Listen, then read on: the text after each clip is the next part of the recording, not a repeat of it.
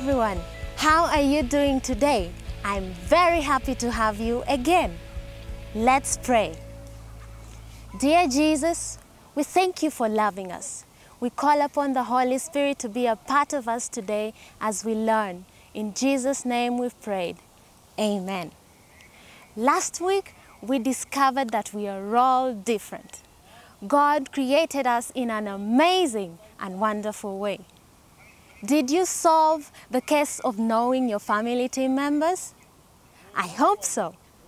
So, as a leader, you need to listen, understand, and respond, which brings us to today's lesson. And we can do all this through communication.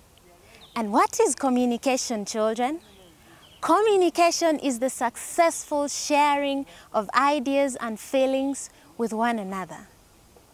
Communication is not just about talking, but also to listen, understand, ask questions for clarity, and respond.